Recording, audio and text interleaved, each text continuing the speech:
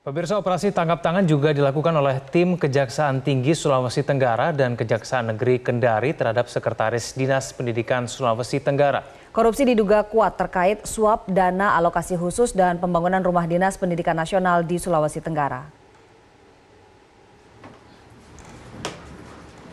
Di sini Pak, di sini. Iya.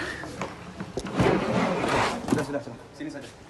Penangkapan Sekretaris Dinas Pendidikan Nasional Sulawesi Tenggara berlangsung di sebuah hotel di kota Kendari. Sebelumnya gerak-gerik tersangka telah diintai oleh tim kejaksaan selama tiga hari. Tersangka yang berinisial LB ditangkap dengan barang bukti berupa uang sebesar 425 juta rupiah dan satu unit mobil.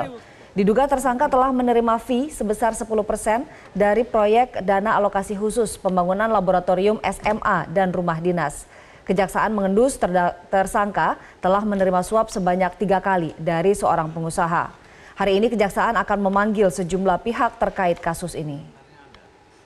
Dari mana aja? Bapak masih ingat kan? Saya tidak ingat. pidana korupsi ini begitu masif. Bukan yang terjadi di pusat, tapi juga sama ke daerah-daerah yang harus kita lakukan. Ya, pencegahan dan penindakan kita lakukan.